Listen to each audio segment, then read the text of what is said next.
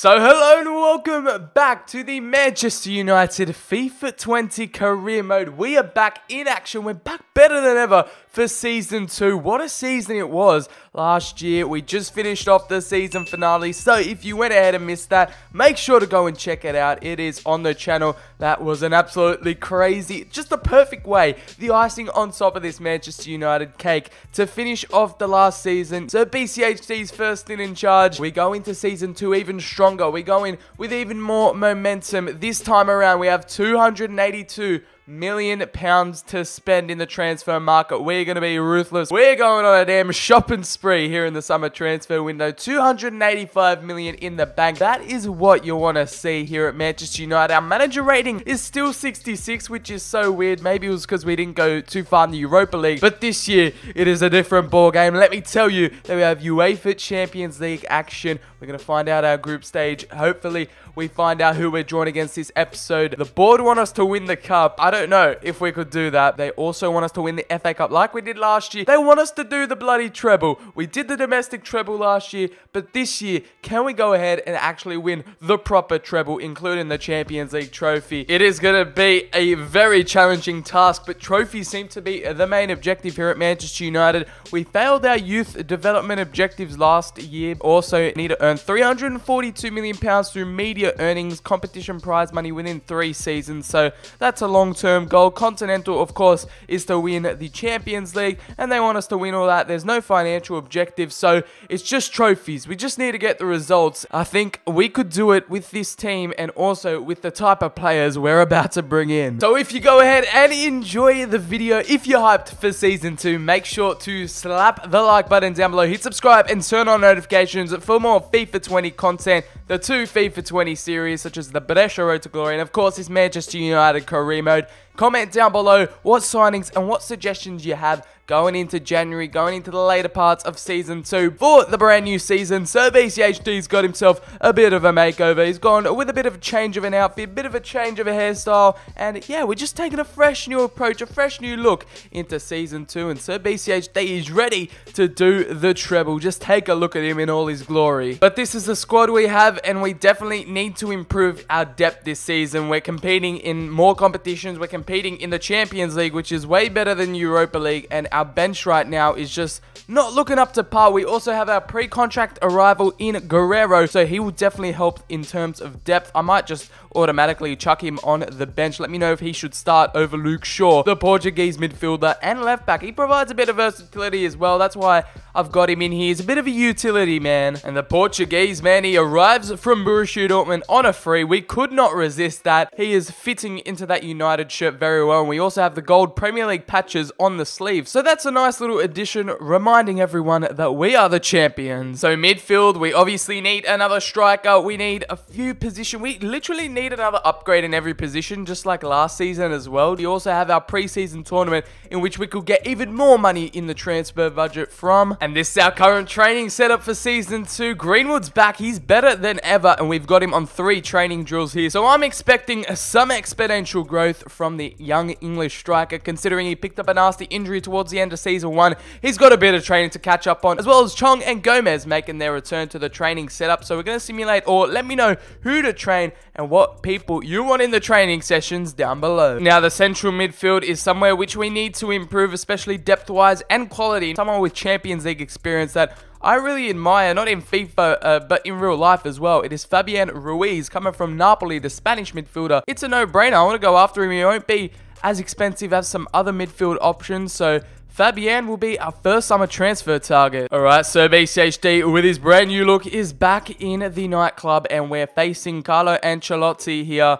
We've got 285 million, so we can we can splash the cash here, but I want to put a, a straight up offer of 55 million to see what the Italian has to say. 67, we could lower that. We know about BCHD's uh, transfer tactics, his transfer negotiation skills. They're second to none. And there we go, 60 million pounds. I think that's a pretty decent deal. Let's get that over the line. And here he is entering the Manchester United offices. Old Trafford has come calling and the Spaniard cannot resist this opportunity. He's finally going to make the big move away from Napoli. I've heard a lot of good things about him, and I love just his playstyle, the way he controls and dominates the game. We're going to lock him down on a five-year contract. The Spaniard does not want a release clause, and no, we're not going to hit negotiations. We're going to accept that. I am, yeah, more than happy to accept that. I don't see uh, 15 goals. He probably won't get that, but an 820k signing bonus. Welcome on in Fabian Ruiz, our first signing of season two. The Spanish midfielder coming from Napoli. Welcome to Old Trafford, mate. Let's get this party started. And for some reason, there's no cutscene, but it's announced in the news. We've gotten him. We've gotten our man, Fabian Ruiz, has arrived here. He's become a Red Devil, and that has improved our midfield second to none. 60 million pounds for the 24-year-old. I am more than happy, son. He can play at CDM, he can play at Cam, and he can also play at CM, so he can pretty much play anywhere in central midfield, which is just why I love him so much. Four-star skill moves, four-star weak foot. He's a left-footed player, six foot two. He's got medium, medium work rates. He's going to be a workhorse in the midfield. Also has 86 attack positioning, 87 reactions, 85 vision. Dark greens are just something to get so excited for. 87 ball control as well as 85 dribbling. 84 finishing for a midfielder is very high as well. He is a long shot taker, so I'm looking to score some left foot bangers with him from outside the box. In terms of the transfer list this season, we're going to try to get rid of as much deadwood as possible. I know they're young and up-and-coming players, but at the end of the day, they're just not Manchester United quality. James Garner, I will keep. Joel Pereira, yeah, your time is now. You, you should be out of the club, mate. Uh, Fosu meant some kind of thinking about, but he could be a great backup player too. Dean Henderson has decent potential and could be a great backup goalkeeper. Scott McTominay, I'm on the verge. I don't know about him. And Marcos Rojo, yeah, I think, yeah, 30 years of age now. He should be at the club. And with this brand new signing of Fabian Ruiz, I don't think the Scotsman has that much time left at Old Trafford now. So I'm really tempted to put him on the transfer list and sell him, to be honest. As Romero approaches 33 now, a backup goalkeeper could be required. So We'll always keep an eye out on that, but for now, he does a job for us. So this is a squad going to play our preseason games. It is pretty much the second team, plus Fabian Ruiz, and we've also got Guerrero, the pre-contract signing, as well as Greenwood is making his return up top. So let's see if we can get a result here against Atletico Madrid. Three points in the bag. It will be a hat-trick for Gomes, the English midfielder. He grew plus 11 overall last season and I'm sure he is going to have a brilliant second season. So the transfer offer comes in for Marcos Rojo, and yeah, the Argentine defender. Times now, he hasn't really got much time left at Old Trafford. He's 78 overall, 30 years of age. He's just not United quality, and he's not going to be the type of player to help us win the trebles. However, the Brazilian midfielder, Andreas Pereira, 80 overall, 24 Spurs want him. I don't really want to sell him to our direct Premier League rival, so for now, we'll go ahead and reject that. In terms of a Marcos Rojo replacement, it looks like Ruben Dias could be the perfect centre back. Watford are after him, so I want to snatch him from their fingertips. And now he's only 23. He's a solid player. And he also has power header as a trait. 23 years of age, coming from Portugal, from Benfica. He was also kind of linked in real life, I believe. So I want to go ahead and buy him. He could be a perfect backup centre back. 28.3 million pounds. Let's see what Benfica have to say. They still want over 30 million pounds. 30 million on the dot. Come on, Benfica. They're going to go ahead and accept that. Let's go into contract talks. Here we are. We're in the contract negotiations now. We've gotten the teapots out. They're back for season two as well. The restaurant is looking as clean as ever. Back in the restaurant, the most efficient place to talk about transfers. And he's going to be an important team member. He's not going to get the start. Uh, he's not. De he's definitely not going to start for us, but he will definitely get some game time under his belt. We're going to accept that five-year contract he is proposing that is something we are very interested in. He's going to have no release clause. What is the Portuguese defender going to say to that? And they are happy. We might have overpaid for him in terms of wages, but Ruben Dias, welcome to the Premier League, son. You're at your new club. Now, especially after Rojo's gone, now, especially that we need some more defensive reinforcement. Ruben Dias was the perfect pickup, and now for 30 million pounds, a 23-year-old, he can still grow and develop into this Manchester United side. He's linking up with his former teammate in Victor Lindelof. Our second signing of the window so far, the Portuguese giant has become a Red Devil, and we also have a promising debut from Fabian, so that signing seems to be paying off as well. Guangzhou is our second opponent in preseason. The second team is out for this one as well. It's a 2-1 win. Pereira and Gomes on the score sheet to get the 2-1 victory. All right, third match of preseason now up against Borussia Dortmund. We've got the same starting 11 out for this one. And surely it is Greenwood with a double. There we go, another 2-1 victory, and we're through to the next round. So here we are, semi-finals. Real Madrid are going to meet us in the second game, in our third game. And now Pereira and Guerrero get the double. The pre-contract signing from left back gets to. We get a transfer offer in for Leon Bailey, and we just picked him up last transfer window. We just picked him up in season one, so he's going nowhere, as well as a loan offer for Fosu Mensah. I'd rather sell him than loan him out, so Hoffenheim aren't getting that. So bad news, Tahith Chong has picked up a groin injury and is going to be out for six weeks. So we can't go a preseason without getting an injury, so unfortunately for the Dutch winger, he's going to be on the sidelines. So the final up against Juventus. Let's get this win. Let's get some more money in the transfer budget to spend. And oh no, Juventus 4-3 on penalties. It's Pereira with the goal, but the Brazilian equalizes and cancels out Pereira's opener and we go on to lose 3.69 million. At least it's something. So a lot of you guys have been calling out for this one in the comments down below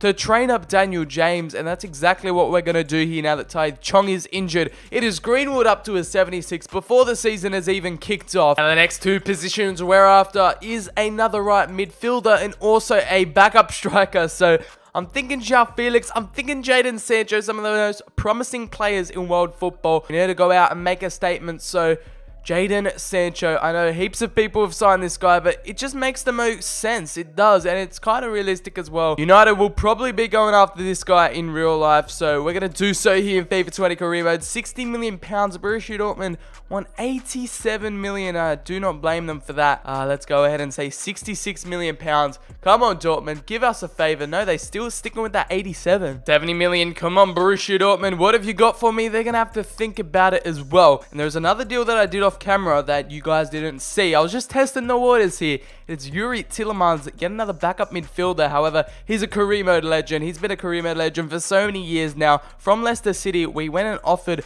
Andreas Pereira plus 20 million pounds for the Belgian. So we'll see if that one goes through. He was kind of linked with United in real life too, so that one could be a bit realistic. All right, 72 million for Jadon Sancho, and we have a deal here with Borussia Dortmund. They are willing to accept that, and now it's going to transfer talks with him. This is going to be a big one. They rejected the 70 million, but now for 72 million and as well with Youri Tielemans they wanted 23.2 million plus Andreas Pereira. I will happily accept that one for Youri Tielemans so there's two contract talks to be done here. So contract negotiations will be done here. Let's see Jadon Sancho is getting 85k a week so we'll delegate both contracts and hopefully both those deals go through. And here's some more training. Angel Gomes has now gone up to an 80. He's cracked into the 80 overalls and he's proven to be one of our most promising youth prospects right now. And there we go, the Sancho deal has finally gone through a player which so many guys wanted me to sign, and now we've finally gone ahead and pulled the trigger. We've had to bite the bullet. He's definitely going to start 72 million pounds. He's going to be a marquee signing for us and has potential to be special, and I cannot wait to start playing with this guy. I feel like he's going to add some more firepower to that attack. And after his youth days at Manchester City, he's become a Red Devil. He's gone to the other side of town. He's gone to to the red side of Manchester and rightfully so, Jadon Sancho is now a United player. Rest assured, we also went ahead and picked up Youri Tielemans, the Belgian midfielder. It's a like-for-like -like swap with Andreas Pereira. He is going the other way to Leicester City. I know I said I didn't want to sell him to Premier League rivals, but when there's a player like Youri Tielemans up for grabs, definitely going to go ahead and pick up the Belgian. He's just a career mode legend, and I couldn't help myself. He would actually be a solid signing for United in real life, and I really want to use him this year in career mode. So our midfield midfield and our defense this transfer window as well as our attack with Jadon Sancho has improved second to none. Victor Lindelof, yeah, he's staying at United. No way Real Madrid are getting their hands on him. We are just two days out from our Community Shield match up against Liverpool, and it looks like no more transfer business will be done. Eric Bailly wants to start, and we'll consider it, but we'll go into our first press conference of Season 2. The Community Shield is up for grabs, some preseason silverware, and we're starting to talk about our brand new signings. He will be good for the team young Jadon Sancho, and he'll prove he's the right man, Ruben Dias as well. Youri Tielemans in there as we've done so much transfer business right before this Community Shield match, and I've completely forgotten about the Community Shield. It's a derby. It's always a big game up against Liverpool, and that is going to be our starting 11 in there. Jadon Sancho's already gone up one overall. Both Fabian and Ruben Dias are on the bench, as well as our pre-contract signing in Guerrero. Tielemans has already gone up an overall, so he might even get the spot over James Madison, his former Leicester teammate. But as we go into this match at Wembley, we have 98 million pounds to spend. This is where you guys come in. Let me know down below. We also have a few sales to do as well, so that amount could go up. Just think 100 million pounds. Who should we get? Let me know your top priorities. I was thinking João Felix as well. I just want your guys' input on the last few transfer signings, and then we'll finish off the transfer window in episode 2 on deadline day. So let me know any last minute transfers that you guys want me to make. But whether or not you love it or hate it, it's Community Shield time. We're at Wembley against Liverpool. It's something we always want to win, and it's just some more silverware to be added to the collection. So let's go into this one against the Merseyside boys. I've got Luka Modric in their sides. Oh, that could be an interesting matchup, but here we are. Wembley has come calling. Let's get it. So we've been here before. Wembley has come calling again. And we've been so successful on this pitch in the Carabao Cup final, the FA Cup final against our other bitter rivals in Manchester City. And now Liverpool await us in the Community Shield. That is the preseason silverware that is awaiting us. Hopefully we can get the victory and start off season two right. The Rio Ferdinand Tifo is out for this one. I'm surprised they let them bring that into Wembley. Jadon Sancho will be making his debut. Oh, we forgot to change his number. He's the number 32. Let me know down in the comments what numbers we should change the new signings into. Sancho's got the 32. He's definitely not going to be having that throughout the rest of season two. All right, so it's going to be Marcus Rashford to kick us off. We have Sadio Mane, the number 10. Wan-Bissaka's completely flipped him over, but won the ball fairly. Wan-Bissaka continues to make this buccaneering run down the right-hand side. He's going to go all the way. He will, the number 29. He's having a field day down this right-hand side. He whips the ball in, and it's nearly an own goal from Koulibaly. What a win back from Jadon Sancho. That is the fighting spirit we need in Season 2. Rashford will do a little one too. Oh, this is poetry in motion. The English connection. Surely Jadon Sancho on debut. Skied that one over the bar, but that is what we want to see. A beautiful piece of play, a beautiful piece of football. And the lads are already starting to gel together with the new signing. Oh no, Mo Salah into the box now. Roberto Firmino, what a block. Luka Modric, former Ballon d'Or winner. And the Croatian through on goal. What do we do? The number 35, David De Gea saves. And Mo Salah goes for the extraordinary, but he skies it over the bar. The Egyptian. Now can he find the ball through to Martial? He will. The Frenchman is dominating down this left-hand side. Oh, he missed the ball, but Marcus Rashford, and it's just gone wide. Luke Shaw just keeping the Egyptian in his pocket this game. That is what you want to see. But no, we've given it away. Poor Pogba. That wasn't part of the script, mate. Modric goes for the header, and it's just above. Luka Modric just dictating the tempo, dictating the midfield. And poor Pogba had enough of that run. He got a victory over him in the World Cup final. He also got a victory over him there. But now Jadon Sancho, he's in the clear here. Who'll cross it in. And now that's an unmarked Kai Havertz at the back. But Alisson, with a brilliant stop, denies us of the opener. The Merseyside club are very dangerous, and Gini Wijnaldum continues their attacking endeavours. And it's a big right-hand save from David De Gea, who responds to Alisson's save well. Now back to Paul Pogba, who'll cut it back and breeze past the Liverpool player.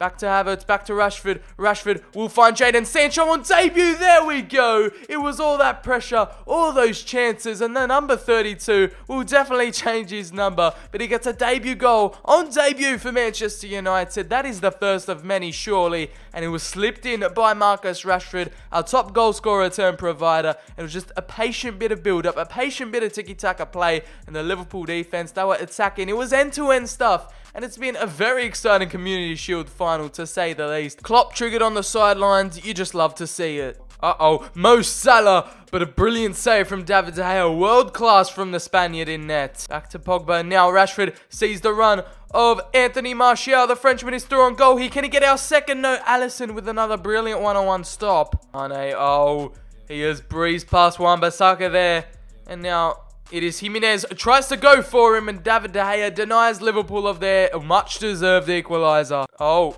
some nice bit of trickery there. And Marcus Rashford wants a long shot. Alisson will deny him. It was a good effort at the end of the day. That in Mane. It's a big header in. No, it is Alexander Arnold. Pogba clears the danger. We can't clear the ball. What is going on here, lads? Liverpool, their constant pressure pays off and their Egyptian Mo Salah will get the equaliser. He'll prey on this Wembley pitch and...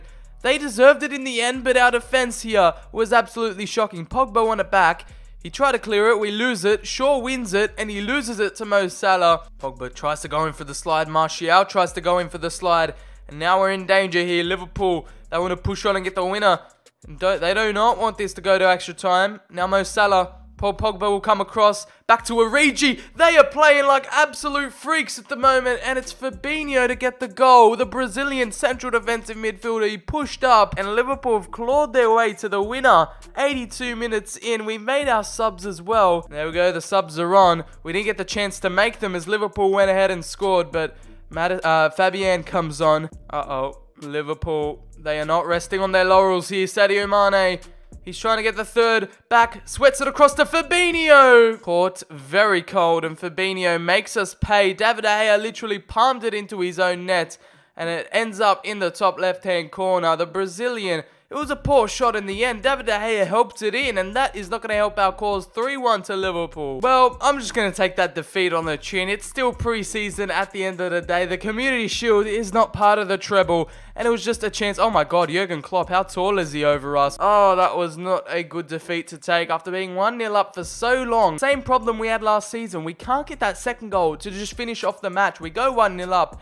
and we rest on our laurels. We're just unable to get the second no matter how many chances and we allow the other team to crawl back into the game and that's exactly what Liverpool did. Fabinho makes the difference at the end of the day. Like I said, it's the Community Shield. We're going to win the important ones this season like the Champions League, mates. We got the victory over them in the Premier League last year, so that's all that really matters. Anyways, lessons to be learned, especially it's still a young and inexperienced side. Put that loss behind us and just go into the season with a fresh new approach. Let's talk a bit about the new signings. They're not too happy as of yet, but hopefully the morale will continue. And look at that, the theme is back. The Premier League is just around the corner. Transfer offer, Ferreira Wan-Bissaka. Yeah, he was absolutely electric in that game against uh, Liverpool, despite our loss. However, Man City come in for him. He's no way going to go and be a citizen. So the Etihad comes calling. We're going to deny that. So this is how we start off our Premier League season. We've got an opener against Watford at home. We have Leeds recently promoted for the Championship away at Elland Road. And then we have Arsenal at home and also Norwich at home. So that is, what, three out of four home games at Old Trafford. I'm looking forward to that. We might play a few Premier League games in this first episode despite how much transfer business we get done. But that is going to be the squad heading out towards this Watford match. We will simulate it at home. We all know how much Old Trafford is a fortress for us. So is it going to be an opening day win? There we go. Havertz, Martial with a brace, and Rashford is on the score sheet to get three points and that 4-0 victory. More training here, and Greenwood is up another overall. He is now at a 77. Beautiful growth going on from the English youngster. And it's always a big match up against Leeds United. Man United and Leeds have a strong history, a very strong history, and it's a strong derby that hasn't been played for quite some time now. So now that they're promoted to the Premier League, I do in fact want to go in and play this one. Be the final game of episode one, season two. We're going to try and go back to back in the Premier League with another three points here away from home. And look at the rivalry continues to this day and we're going with the black kit there. Leeds will wear their famous old white strip. It's a classic English rivalry returning in the Premier League and we're live at Elland Road. It's going to be a massive away trip. Both sets of fans absolutely hate each other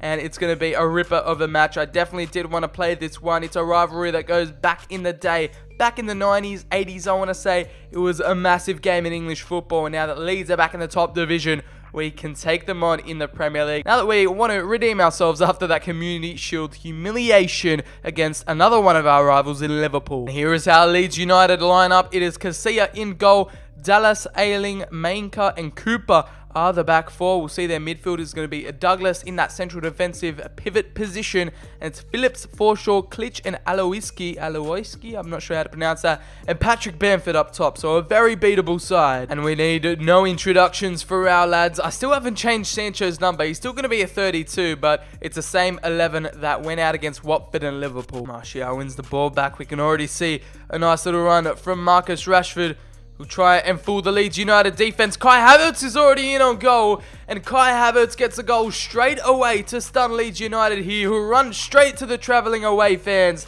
And it's a first goal, our first chance, and it's that man again, Kai Havertz. I cannot talk more highly of this lad as Marcus Rashford did a little hill to hill. He squared it off to Kai Havertz in our first chance, our first goal. Leeds definitely caught off guard, and it's a nice little welcome back to the Premier League for them as Havertz will smash that one into the bottom right hand corner for his first of season two. To Jadon Sancho.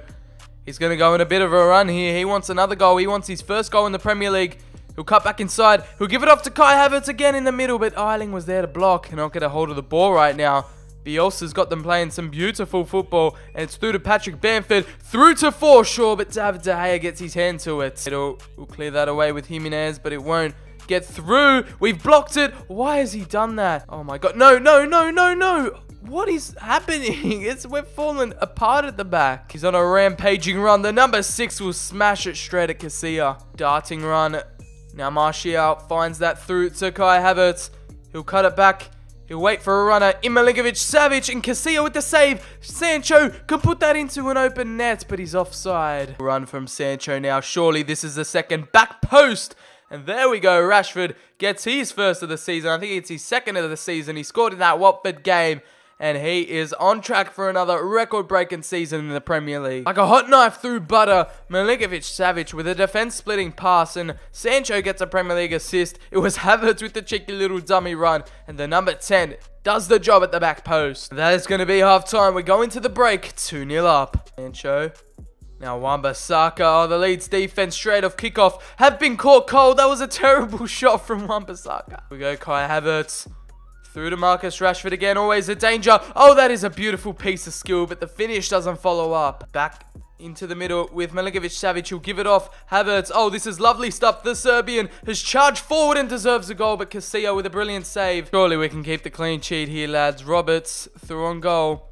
Oh no, Leeds United, they want to get a goal back. They want to half the deficit, but it's a massive block from our Uruguayan. Here we go, the perfect chance for Leeds to get one back.